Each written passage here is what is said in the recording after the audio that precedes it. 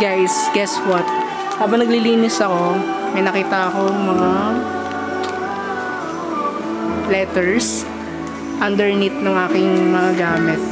Um, siguro sa susunod na content natin, maglalaan ako ng oras para basahin ulit yung mga to.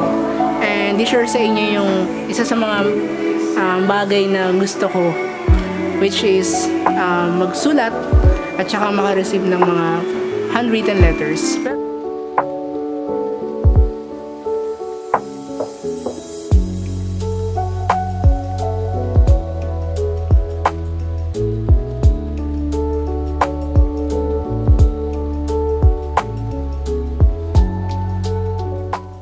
Siguro ay lingin pa sa kalaman ng karamihan sa inyo na ako ay mahilig sumulat at magbasa ng mga handwritten letters. At ngayong araw na to ay babasahin natin yung mga letters na nakuha natin mula dun sa nakaraang vlog natin na naglinis tayo ng aking workplace. So, ilan lang ito no, sa mga nakita ko doon. So, ano pang hintayin natin, no? Basahin na natin tong mga letters na to.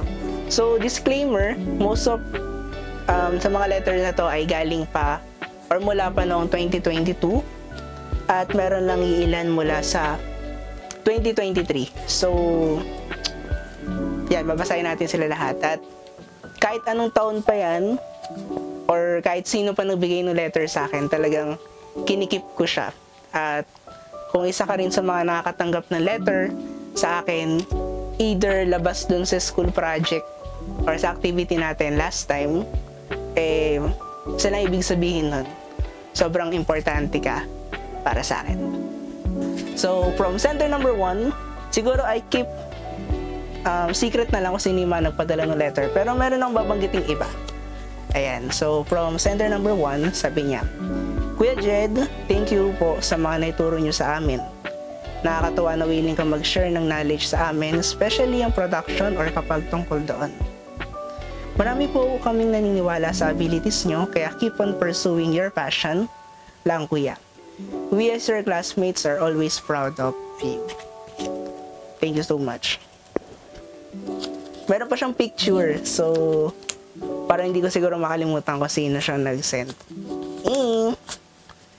Basta ang sabi niya rito, to Jedacinto from the sexiest person alive. So, throwing up naman, sobrang sexy talaga niya. At ito yung letter niya. So, hello, leadership, role model, mentorship, and love from the simplest way you have shown are, are all I am grateful for.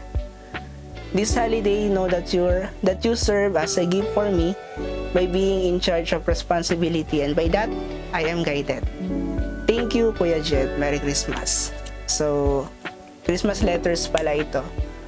Nakalimutan ko sabihin. Next, we have this one. Hello, Kuya Jed. Ay, ito. Ang cute. May sipa pero malaman. Sabi niya kasi rito, una sa lahat, hindi ako naniniwala sa kakayahan ng isang Kuya Jet. But I was wrong. Iba ang husay ng isang Jed Jacinto! Exclamation point. Maraming salamat sa palaging paggabay sa amin, slash akin. Take care always. Show my rice. Show my lang pala. Show my please. Emmy. Promo. Moa ng maasim. Code name ulit. So, thank you. Actually, meron siyang letter ulit last year, 2023. So, basahin natin ulit mamaya. Next, may pa ganito pa sila. Nahin na natin ito. Yan. To Jed, thank you for the help and for the knowledge you share with everyone. We appreciate we appreciate you so much. From Lay. Core na to, mula sa core group ko na to. Ayan. Thank you. Nakaganito ulit siya. Letter. So, ayan. Jed. Di ko na magagawa to ah, pero give me a J, clap. Ginawa pa rin. E, clap. D. Shout out sa Virgo kong friend. Hahaha. Thank you sa pagmamotivate at pagbibigay tips to be better ang mga output. Isa ka sa plot twist ng aking 2022. Uy! Maraming salamat kuya. More project to come. Keep doing what you're doing with undying passion. So, yun. Thank you so much. Hindi siya pakilala. Pero kilala ko kung sino nagpadala. So, yun. More project sa atin. And, saan? Na? Tsaka ano, nakakaramdam naman talaga ako na mas marami pang proyekto ang darating sa akin, sa iyo, at sa ating grupo. So, thank you. Next, meron pa siyang picture namin, grupo namin. Pero hindi ko na ipapakita. Sa, sa akin na lang yan, sa amin na lang yan. Ayan. So, ito yung letter niya. Sabi niya, Hi Jed, gusto ko lang sabihin sa'yo na sobrang thankful ako dahil nakilala kita ikaw din yung unang nag-add sa akin sa FB na magiging classmate ko pala. Nung nagtanong ako sa FB na may GC na baka ako ang mga freshies. Anyways, salamat kasi ang dami ko natutunan kapag kasama kita sa mga group activities natin. Napaka, napaka-effort sa mga gawain natin lagi. Sana matupad mo lahat ng pangarap mo sa buhay at marami pa tayong magawa ng mga short film na magkakasama. Lagi. Lagi mo natatandaan na may naniniwala sa kakayahan mo at isa ako doon na naniniwala at na naniniwala na maabot mo yung dreams mo. DJ Pay. Yan. Thank you. Next, we have here Ayan. From K. Tago na lang kita sa pangalang or sa katagang K. To Kuya Jed, may quotation pa siya. Your dreams are yours for a reason. Maraming salamat Kuya Jed sa never-ending trust at appreciation mo sa amin, G6. Alam, alam niya na. Hindi matutumbasan ng kahit na ano mga opportunities na inilalapit mo sa amin.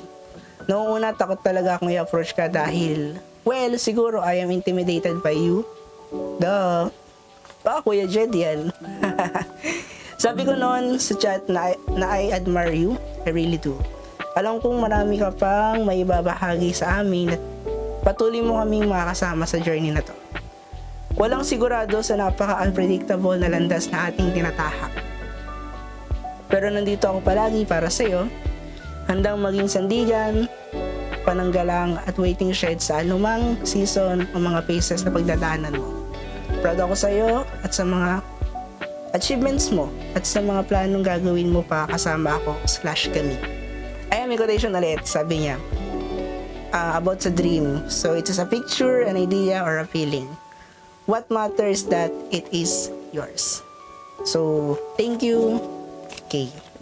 Then, last, from 2022, ito napaka-special din sa akin. Kaya ako siya hinuli. Sabi niya, Hello Kuya Jed, Making messages, sweet and long message, to be exact, are not my thing. Actually, ikaw lang ang sinulatan ko ngayon and I, re- and I rarely do this talaga. Gusto ko kasi magpasalamat sa iyo sa lahat ng tulong at pag-motivate mo sa akin. Part ka na magiging tagumpay ko.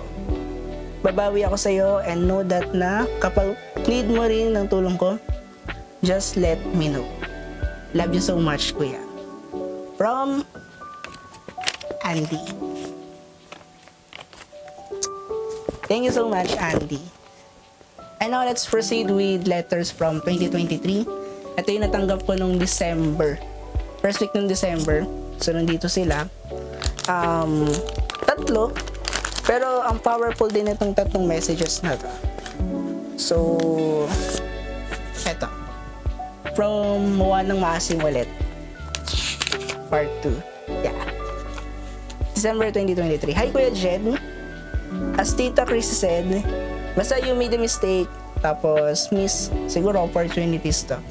But don't forget to recreate. You, your one mistake does not define who you are. Thank you for always trusting me.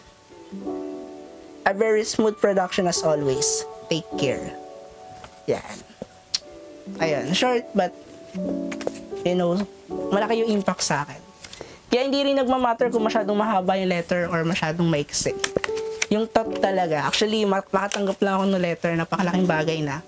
Tapos makikita ko kung sino yung nagbigay. So, at somehow, yung mga, na, yung mga letter din na natatanggap ko sa tao, sila rin yung mga taong nagkaroon ng malaking impact sa akin. So, thank. Kahit na parang, ano lang siya, school related activity na pinagawa sa atin.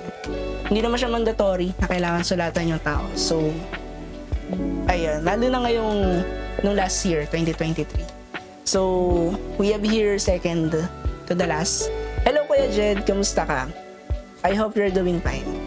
Alam kong hindi naging madali sa'yo itong taon na ito at itong semestre na ito. Too many sacrifices, silent battles, at trying times. Pero thank you dahil kinaya mo. I just wanted to say thank you to sa lahat ng help. This coming vacation, I hope na makapag rest ka ng maayos at magpalakas ka for next semester. More ban pa sa atin at advance Merry Christmas sa iyo and to your family. Thank you rin kay Tito at Tita. Love you more. Thank you and sorry. Mwah. From Dan. Last but definitely not the least, at there's a reason bakit ko siya ginawang huli. So, Dear Kuya Jed, kung may haligi ng tahanan, meron ding mga haligi ng Bob 3A at isa ka na roon. Maraming salamat sa lahat ng ginawa at ginagawa mo para sa section natin at sa pagiging matulungin at generous sa pagpapairam ng gamit at ng iyong talent. This year has been crazy exhausting for all of us, especially to you. But it also taught us a lot of things. Looking back to everything we did this year, isn't isn't it amazing how we were able to survive all of it despite having doubts and not being in our best state? Palaban din ako sa English dito. We've come a long way and the journey doesn't stop here. So I hope you will hang in there a little longer. Hindi tayo nagpakahirap ngayong college para lang mamatay. Kaya always put yourself and your well-being first. Yes, there are still a lot of things to do but those are not as valuable as your life. Aanhin mo pa yung achievements and recognition kung nasa kabilang buhay na tayo. We need to be healthy so we could do all of it and enjoy the fruits of our labor to the fullest, fullest after. Amen? Amen. Ingat ka palagi. Sobrang proud ako sa'yo. Love, Nix. Ayan. Thank you so much, Nix. Basta sa mga nagpadala ng mga letters na to, di pa nakayos yung iba. Ah, maraming maraming maraming salamat. Because dito ako madalas kumukuha ng inspiration. Bakit ako nagpapatuloy? Bakit ko pinipiling lumaban pa rin at magpakita palagi? So, yung mga nagpadala ng letter na to, personally, kilala ko kayo. And, uh, sobra ako nagpapasalamat sa inyo. At, hanggang dito na lang muna siguro. Maraming salamat. At, sana, itong video na to parang, ano lang naman, hindi naman ako mag-expect. Pero, sana it will be an eye-opener sa mga friends ko na hindi ko naman kailangan ng expensive, expensive gifts. No? Sa, sa ganitong simpleng paraan, sa pagsusulat lang, sobrang priceless na siya para sa akin. So, yun lang. Maraming salamat. And see you all on the next video.